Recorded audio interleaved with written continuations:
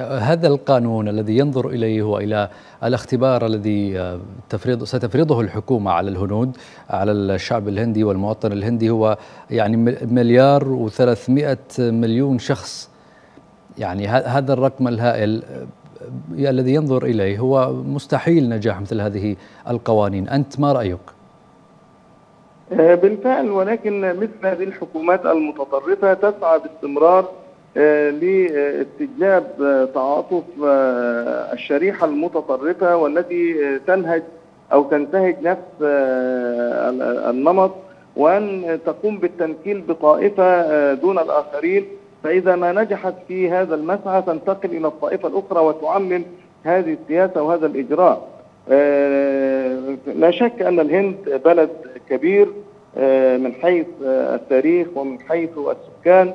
وكان له أيضا في مراحل سابقة مراحل أفضل وأحسن من هذه الحقبة السوداء التي يسيطر فيها هذا الحزب العنصري والذي يستهدف المسلمين في الصميم تحديدا.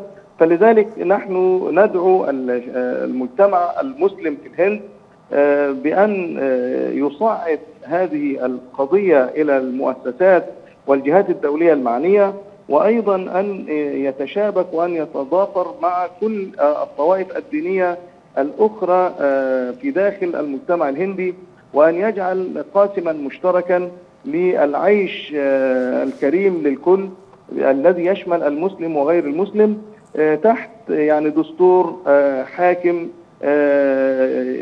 يستطيع أن يبعد من داخله كل هذه الإجراءات العنصرية وكل هذه الممارسات التي لا تتفق مع معايير وكرامة الإنسان.